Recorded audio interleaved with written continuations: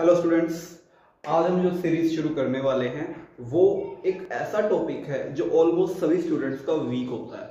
अगर हम उस पर कवर अप कर लेते हैं तो हमें मैकेनिक्स बहुत आसानी से समझ आ जाती है। हम बहुत अच्छे अच्छे क्वेश्चन सॉल्व कर सकते हैं, अगर हम वो टॉपिक को कवर अप कर लें। टॉपिक का नाम है फ्री बॉडी डायग्राम कैसे बनाए जाएँ? जो बेसिकली एफ़ जिसको अपने बोलते हैं, उनको कैसे प्लॉट किया जाए? कभी हमारी गड़बड़ ना हो, कभी हम लोग गलत ना कर पाए तो एफबीडी कैसे बनाए जाए, इस पर अपने आज डिस्कस करेंगे। सीरीज़ शुरू कर रहे हैं एक और। आप सब्सक्राइब कीजिए चैनल को, बहुत कुछ मिलने वाला है। सब्सक्राइब कीजिए फिजिक्स बूस्टर फॉलो कीजिए। ओके स्टार्ट करते हैं पार्ट वन इस सीरीज़ का कि फ्री बॉडी डायग्राम कैसे बनाए जाएँ। हाउ टू मेक एफबीडी और फ्री बॉडी डायग्राम इफेक्टिवली फिर बाद में अपने इक्वेशंस लिखना भी शुरू करेंगे। फ्री बॉडी डायग्राम का यूज़ करके इक्वेशंस कैसे लिखी जाती हैं। बट पहले अपने क्या करेंगे बच्चों? एफबीडी कैसे बनाए जाते हैं, उसकी बात करेंगे। देखिए एफबीडी बनाने के बहुत से तरीके हैं। मैं आपको सबसे सिंपलेस्ट मेथड बताता हूँ। सबसे पहले तो आप चार जनरल फोर्सेस चेक कर लो। फोर जनरल फोर्सेस जिनमें से कोई ना कोई प्रेजेंट होता ही है आपकी प्रॉब्लम में। तो सबसे पहला फोर्स जैसे वेट या ग्रेविटी थोड़ी सी थ्योरी अपने को चेक करनी पड़ेगी। उसके बाद हम लोग एफ़ बना सकते हैं। क्लियर वेट या ग्रेविटी सबसे पहला फोर्स है। इसका मैग्नीट्यूड बेसिकली क्या होता है? ये पता होना चाहिए। ज़रूरत पड़ेगी। W equals to M G M क्या रहता है? मास ऑफ़ द ऑब्जेक्ट और जी क्या रहता है? ग्रेविटेशनल एक्सलरेशन दूसरी चीज़ डायरेक्शन वैसे तो अगर देखा जाए ग्रेविटी की जो डायरेक्शन होती है, वो होती है towards the centre of the earth ठीक है? Towards the centre of the earth but हम लोग न्यूमेरिकल जब करते हैं तो सेंटर ऑफ़ द अर्थ ढूंढना मुश्किल है। हम इसको ऑलवेज डाउनवर्ड अप्लाई करते हैं। तो ग्रेविटी यानी कि पहला जो मैकेनिक्स का फोर्स है बेसिक फोर्स जिसकी जिसकी हमें ज़रूरत पड़ती है, वो क्या है? एम अब W equals to M G आपको याद रहना चाहिए। M mass of the body है और g ग्रेविटेशनल एक्सेलरेशन है direction towards the centre of earth और डाउनवर्ड तो हम लोग जब भी न्यूमेरिकल्स करते हैं, हम लोग डाउनवर्ड का ही यूज़ करते हैं, क्योंकि towards the centre of earth solve करना थोड़ा सा मुश्किल हो जाएगा अर्थ का सेंटर ढूंढना थोड़ा सा मुश्किल हो जाएगा बच्चों। क्लियर तो पहला जो फोर्स हमें ध्यान रखना है, ये लगता कब है? ये किसी बॉडी पे कब लगता है? कंडीशन क्या है? इट ऑलवेज एक्ट्स ये हमेशा लगेगा। मतलब अगर आपके जगह में ग्रेविटी है, तब ये फोर्स तो काम करेगा करेगा। वेट तो होगा ही होगा बॉडी के पास, चाहे जो मर्ज़ी कंडीशन हो बॉडी अपना वेट नहीं छोड़ेगी। इस बात को आप ध्यान रखना कि जो ग्रेविटी का फोर्स है, वो हमेशा काम करता है। इट ऑलवेज एक्ट्स क्लियर पहला फोर्स आपको क्लियर हुआ होगा। आप लोग पॉज करके नोट कर लो। दूसरा बेसिक फोर्स दूसरा बेसिक फोर्स मैंने आपको पहले बोला है कि हमें फोर्सेस पहले पता करने पड़ेंगे। चार बेसिक फोर्सेज हैं फोर बेसिक फोर्सेज हैं उसके बाद और भी फोर्सेज हैं लेकिन पहले उन फोर को यूज़ करना सीखेंगे, धीरे धीरे फिर चीज़ों को ऐड करते चलेंगे इलेबोरेट करते चलेंगे, ठीक है? सेकंड बेसिक फोर्स होता है बच्चों, जो यूज़ किया जाता है, वो है नॉर्मल फोर्स या इसको बोलते हैं, क्या बोलते हैं? रिएक्शन फोर्स या तो बोलते हैं नॉर्मल फोर्स या क्या बोलते हैं? रिएक्शन फोर्स अब पहली बात, इसको रिप्रेजेंट कैसे करते हैं? इसका मैग्नीट्यूड कितना होता है? मैग्नीट्यूड का इसका कोई फॉर्मूला नहीं है कि आप बोले कि इतना ही होगा जैसे W equal to M G fix था। वेट को एमजी होना ही पड़ेगा फिक्स था। इसके मैग्नीट्यूड का कोई फॉर्मूला नहीं है ऐसा कि यही का फॉर्मूला यूज़ करेंगे। ये अकॉर्डिंग टू द क्वेश्चन अपनी वैल्यू को चेंज करता रहता है। तो इसको हम आगे जाके सीखेंगे कैसे लगाते हैं। बट इसको रिप्रेजेंट कैसे करते हैं? इसको रिप्रेजेंट किया जाता है मैग्नीट्यूड या इसको रिप्रेजेंट किया जाता है एन या आर से। बस आपको एन या आर पुट करना होगा फ्री बॉडी डायग्राम के अंदर, जब आप नॉर्मल रिएक्शन की बात कर रहे हैं, ठीक है? लगता कब है? When body is in contact with a surface is in contact with a surface तब ये काम करता है। जब कोई बॉडी जब कोई ऑब्जेक्ट सरफेस के साथ कॉन्टैक्ट में है, तब ये हमारा फोर्स काम करता है। लगता कैसे है? Always perpendicular to the surface. Surface के हमेशा परपेंडिकुलर ये काम करता है। परपेंडिकुलर का मतलब नॉर्मल होता है। ठीक है? मैथ्स के अंदर नॉर्मल मतलब हम ऑर्थोगोनल या 90 डिग्री का केस लेके चलते हैं। तो बेसिकली इसलिए इसको नॉर्मल फोर्स बोला जाता है। ये always perpendicular to the surface लगता है। क्लियर तो दो बेसिक फोर्स हम लोगों ने डिस्कस किए हैं। ये एक तरह का कॉन्टैक्ट फोर्स होता है। सुनो ध्यान से, ये एक तरह का कॉन्टैक्ट फोर्स होता है, लेकिन ये पूरे तरह से कॉन्टैक्ट फोर्स नहीं होता। पूरी तरह से कॉन्टैक्ट फोर्स बनाएँगे अभी, देखते हैं कैसे। लेकिन पहले आपको ध्यान रखना है कि नॉर्मल फोर्स या रिएक्शन फोर्स का मैग्नीट्यूड किससे रिप्रेजेंट किया जाता है? इसको एन या आर से रिप्रेजेंट किया जाता है। कब लगता है? जब बॉडी सरफेस के कॉन्टैक्ट में है और हमेशा परपेंडिकुलर टू द सरफेस ये काम करता है। ठीक है? तीसरे फोर्स को डिस्कस करें थर्ड फोर्स को डिस्कस करें। आ जाओ। दो फोर्स आपको क्लियर है? अच्छी तरह से। अभी डायग्राम के थ्रू भी देखेंगे कि फ्री बॉडी कैसे बनाया जाएगा इसका। थर्ड थर्ड वन बच्चों थर्ड वन क्या होगा थर्ड वन तीसरा जो हम लोग फोर्स काम में लेते हैं बच्चों, वो बेसिकली वो बेसिकली क्या होता है? जो हम तीसरा फोर्स काम में लेते हैं यहाँ पे। पहला हमने बात करी वेट की। दूसरी हमने बात करी नॉर्मल की, तीसरा फोर्स हम लोग समझते हैं दैट इज़ टेंशन फोर्स ये सबसे ज़्यादा यूज़ आने वाला फोर्स है। मैं मोस्ट यूज्ड फोर्सेस की बात कर रहा हूँ, बाकी फोर्सेस भी हैं, लेकिन इतने यूज़ नहीं आते ज़्यादातर आपको ये देखने को मिलते हैं। टेंशन फोर्स अब टेंशन फोर्स का मैग्नीट्यूड ये भी बिल्कुल नॉर्मल की तरह ही है, इसका मैग्नीट्यूड भी फिक्स नहीं है। According to the question vary करता है, लेकिन रिप्रेजेंटेशन इसकी कैसे होती है? रिप्रेजेंटेशन होती है टी से। इसको हम लोग टी से रिप्रेजेंट करते हैं। ये कब काम करेगा? What is the condition tension force लगने की क्या कंडीशन है? When when there is string string समझते हो? रस्सी, और और स्प्रिंग स्प्रिंग मतलब उचक उचक वाला, ठीक है? व्हेन देयर इज़ स्ट्रिंग और स्प्रिंग इन दोनों में से अगर कुछ प्रेजेंट है, अगर आपके पास, तब आप इस फोर्स को अप्लाई करेंगे। तीसरा इसकी डायरेक्शन क्या होगी? चाहे स्प्रिंग है, चाहे स्ट्रिंग है अवे फ्रॉम द बॉडी या ऑब्जेक्ट ऑब्जेक्ट से अवे लगेगी इसकी डायरेक्शन भी बॉडी अगर ऐसे है तो टेंशन दूर. टेंशन हमेशा बॉडी से दूर. आप क्या चाहते हो? आप ये चाहते हो ना, आपको किस तरह की टेंशन ना हो तो टेंशन को हमेशा बॉडी से दूर रखो. तो यहाँ पे टेंशन हमेशा बॉडी से दूर. टेंशन हमेशा बॉडी से दूर जानी चाहिए। टेंशन हमेशा बॉडी से क्या जानी चाहिए? बच्चों, दूर जानी चाहिए। तो ये तीन फोर्सेस समझ आए आपको? तीन फोर्सेस ये स्प्रिंग फोर्स भी हो जाता है, अगर स्प्रिंग कनेक्ट होगा, और अगर स्प्रिंग कनेक्ट है तो वो स्प्रिंग फोर्स हो जाता है। क्लियर अगर अगर ये बेसिकली स्प्रिंग फोर्स ही होता स्पेशल तब इसका मैग्नीट्यूड हम कंसीडर करते हैं। अगर ये सिर्फ़ स्प्रिंग फोर्स होता तो मैग्नीट्यूड की मैं बात करूँगा तो टी होता है के एक्स मैं मैग्नीट्यूड की बात कर रहा हूँ डायरेक्शन मैंने आपको यहाँ बता दी है। के होता है स्प्रिंग कांस्टेंट और एक्स होता है एक्सपेंशन या कॉन्ट्रैक्शन जो बेसिकली स्प्रिंग के अंदर हो रहा है। तो क्लियर हुए आपको ये तीन फोर्सेज आप इसको नोट कर लो अच्छी तरह से। तीन फोर्सेज बेसिक आ चुके हैं। फोर्थ बेसिक फोर्स की बात करते हैं। Fourth basic force fourth basic force हम लोग जो एफबीडी बनाते हैं जनरली कंसीडर करते हैं। वो होता है नेट फोर्स कौन सा होता है? नेट फोर्स ये क्या है? ये आप लोगों ने फोर्स को पढ़ा हुआ है। Newton second law of motion से जो आउटपुट आता है that is F net equal to M A आप लोगों ने पढ़ा हुआ है। ये फॉर्मूला तो यही है हमारा नेट फोर्स मैग्नीट्यूड हो गया। इसकी डायरेक्शन क्या होगी? डायरेक्शन होगी in the direction of motion आपका ऑब्जेक्ट किधर भी मोशन कर रहा है, उस डायरेक्शन में आप इसको अप्लाई कीजिए। In the direction of motion clear condition क्या रहेगी? A not equal to zero और कह सकते हो body should not be in equilibrium ठीक है? अगर बॉडी इक्विलिब्रियम में है, या उसका एक्सेलरेशन ज़ीरो हो चुका है तब आप इस फोर्स को, तब आप इस फोर्स को लगाएँगे। उसका एक acceleration not equal to zero हो चुका है, तब आप इस फोर्स को अप्लाई करेंगे।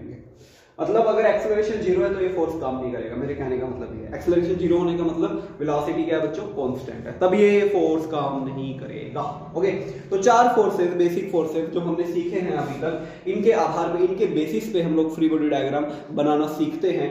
तो इन चारों फोर्सेस की आपको नॉलेज होनी चाहिए। और भी फोर्सेस कंसीडर करेंगे बट पहले इन चार से तो शुरुआत करें। कहीं से तो शुरू करना ही है। तो इन फोर फोर्सेस से क्यों ना शुरू किया जाए? बाकी तो देखते हैं टाइम के साथ साथ और कौन से फोर्सेस आएँगे। ठीक है? चलिए। अब अब हम आते हैं हमारे मेन टॉपिक पे। फोर्सेस हमने डिस्कस कर लिए। अब आते हैं हम अपने मेन टॉपिक पे, जिसका नाम है क्या? F B D free body diagram क्या होता है फ्री बॉडी डायग्राम पहले तो मैं आपको एक चीज़ बताता हूँ कि एफबीडी होता क्या है? भाई एफ़ है क्या? एफ़ क्या है? एफ़ क्या है? ये एफ़ बी क्या है? देखो फ्री बॉडी डायग्राम का मतलब होता है एक ऐसा डायग्राम जिसके अंदर आप बॉडी पे लगने वाले सभी फोर्सेस बता सको। एक ऐसा डायग्राम डेफिनेशन नहीं पूछता कोई बट हमें पता होनी चाहिए। तो क्या लिख सकते हैं? एक ऐसा डायग्राम जिसमें बॉडी पे लगने वाले बॉडी पे applied all forces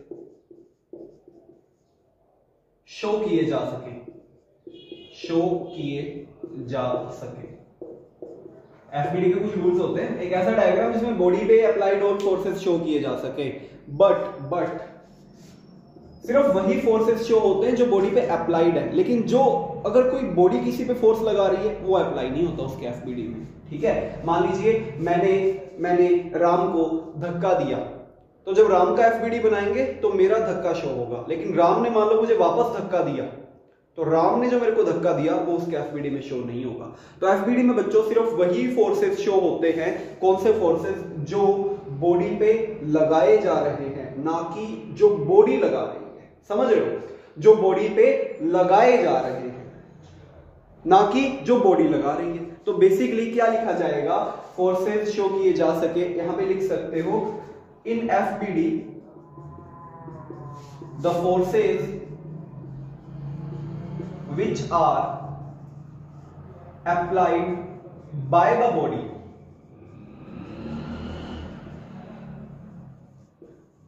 are not included, are not included. मतलब वो फोर्सेस जो बॉडी खुद लगा रही है, वो कंसिडर नहीं होते तो कौन से लगते हैं? जो बॉडी पे अप्लाइड होते हैं, जो ऑन द बॉडी अप्लाइड होते हैं, ना कि जो बॉडी खुद लगा रही है। इस बात का आप ध्यान रखना, ये बड़ा इंपॉर्टेंट फैक्ट है। तो नोट करिए दो बातें एफबीडी के बारे में। फ्री बॉडी डायग्राम का मतलब क्या है? बॉडी पे अप्लाइड फोर्स आप एक इजीली डायग्राम में बता सकते हो, ठीक है? और जो बॉडी खुद लगा रही है, वो नहीं बता सकते उस फ्री बॉडी डायग्राम में। तीसरी इंपॉर्टेंट चीज़, जो नेट फोर्स होता है F net equal to M is not mentioned in F B D in the F B D तो इसको फिर कैसे मेंशन किया जाता है? अगर एफबीडी में नहीं कर सकते तो फिर बताए क्यों हमें ये fourth force F equal to M बताए क्यों अगर एफबीडी में मेंशन नहीं कर सकते? बताऊँगा। कैसे इसको मेंशन करते हैं, ये भी बताऊँगा। कैसे कर सकते हो, ये भी बताऊँगा। सब कुछ बताऊँगा। अभी ध्यान रखना कि एफबीडी के अंदर मेंशन नहीं किया जाता। फिर कहाँ पे मेंशन किया जाता है? देखते हैं। बात समझ आई? तो चार फोर्सेस और तीन रूल्स के साथ हम लोग अपना पहला फ्री बॉडी डायग्राम डिज़ाइन करते हैं। बड़े बेसिक से एग्जांपल्स हम डिज़ाइन करेंगे। तो स्टार्ट करते हैं बच्चों। Example number one free body diagram का। बड़ा सिंपल सा डायग्राम मैं कंसीडर करूँगा। एक एक करके लेवल बढ़ाते चलेंगे और इन्फिनिटी लेवल तक पहुँचेंगे। इस तरह से, इस तरह से हमें एक मास दे रखा है एम ये जो डेड डैश देख रहे हो ना, ये सारा सारा डैश डैश देख रहे हो, ये ग्राउंड को बताने का तरीका होता है। ये मिरर नहीं है। आपने टेंथ क्लास में मिरर की पॉलिशिंग पढ़ी होगी, ये वो नहीं है बच्चों। ये ग्राउंड को बताने का तरीका है। ऐसे नहीं है कि हमारा ऑब्जेक्ट मिरर के ऊपर पड़ा है, ऐसा कुछ नहीं है। हमें बोला इसका एफबीडी बनाइए। अब जब एफबीडी बनाएँगे तो पहले तो वो चार फोर्सेस कंसीडर करेंगे। बॉडी मोशन नहीं करिए मैंने आपको बता दिया। पहले चार फोर्सेस कंसीडर करेंगे। क्या उनमें से कोई फोर्स पे काम करेगा? और ये सरफेस आपको अभी स्मूथ दे रखी है। अभी मैं बाकी के फोर्सेस कंसीडर नहीं कर रहा। रफ सरफेस नहीं है, कुछ भी नहीं है। सिर्फ़ और सिर्फ़ क्या है बच्चों? बेसिक चीज़। तो चलो भाई, क्या इस पे वेट लगेगा? अरे वो तो हर बार लगेगा। एक काम कर सकते हैं आप, इसको एक पॉइंट की तरह बना लीजिए। क्वेश्चन करना आसान लगता है, क्योंकि पॉइंट मास आप कंसीडर कर सकते हो। ये जो एम था, ये हमारे पॉइंट मास हो गया। क्या इस पे एम लग रहा है? अरे वो तो लगेगा ही यार। वो क्यों नहीं लगेगा? W इक्वल टू एम लगेगा। M कैपिटल लिए तो यहाँ पे कैपिटल ले लेते हैं। किसी तरह को कंफ्यूजन नहीं रहनी चाहिए। और क्या लग सकता है? क्या इस पे नॉर्मल फोर्स लग सकता है? क्या इस पे रिएक्शन फोर्स लग सकता है? अरे हाँ बिल्कुल। क्यों? क्योंकि ये कॉन्टैक्ट में है। अगर ये कॉन्टेक्ट में है तो सरफेस के नॉर्मल ये रहा सरफेस ये रहा नॉर्मल परपेंडिकुलर लग गया भाई एन और आर जो आपको पसंद हो, उसका आप लिख लीजिए। आपको अगर एन अच्छा लगता है एन को यूज़ कीजिए। अगर आपको आर पसंद है तो आप आर यूज़ कीजिए। हो गए दो फोर्सेस एन और आर नीचे की तरफ़ एम जी तीसरा फोर्स टेंशन अरे रस्सी नहीं है तो काय की टेंशन स्ट्रिंग नहीं है स्प्रिंग नहीं है टेंशन क्यों आएगी? फोर्थ एक्सलरेशन मोशन ही नहीं कर रहा। नेट फोर्स कहाँ से आएगा? मोशन ही नहीं कर रहा। तो बन गया एफबीडी हाँ जी, बन गया। खत्म। इक्वेशन लिखना अभी नहीं सीख रहे हैं। इक्वेशन लिखना भी सीखेंगे आगे चल के। बट अभी सिर्फ़ बेसिक एफबीडी सीख रहे हैं। समझ आया? गेटिंग माई पॉइंट अच्छा क्वेश्चन आसान सा क्वेश्चन था। एफबीडी हमने बना लिया बच्चों। ठीक है? चलिए। अब इसी क्वेश्चन को मैं थोड़ा सा और अच्छा करूँ? कैसे देखो? एग्ज़ाम्पल नंबर टू देखो। अगर मैं कुछ इस तरह से गाड़ी चलाऊं एम मास की गाड़ी को v स्पीड से मैंने चला दिया, लेकिन मैंने बोला कि जो स्पीड है वो कांस्टेंट है। स्पीड जो है वो कांस्टेंट है, इसका एफ़ बी डी बनाइए। चलिए शुरू करते हैं। सबसे पहले क्या करते हैं? एक पॉइंट की तरह लिख लो, आसान हो जाता है। वेट तो लगेगा ही लगेगा। एम जी नॉर्मल ऊपर की तरफ़ मैं एन से शो कर लेता ठीक है? तीसरा फोर्स टेंशन ना ना ना स्प्रिंग ही नहीं है काय की टेंशन स्प्रिंग ही नहीं है काय की टेंशन फोर्थ क्या? मोशन हाँ हो रही है, हो रही है भाई, हो रही है, हो रही है। वी कांस्टेंट स्पीड से चल रहे वी कांस्टेंट तो क्या एम ए लगाना चाहिए? नहीं, क्यों? अगर V constant acceleration zero acceleration zero तो बॉडी इक्विलिब्रियम में बॉडी इक्विलिब्रियम में तो ये रहा एफबीडी तो पिछला और इसका एफबीडी क्या बन गया? सेम बन गया। कोई फ़र्क नहीं आया दोनों के फ्री बॉडी डायग्राम में। डन समझ आया? बना पाओगे थोड़े बहुत एफबीडी दो हुए तो देखते चलो आगे आगे होता क्या है। पिटारे में बहुत कुछ है, बस तुम लेने वाले बनो सब्सक्राइब करवाओ, हौसला बढ़ाओ। Example number three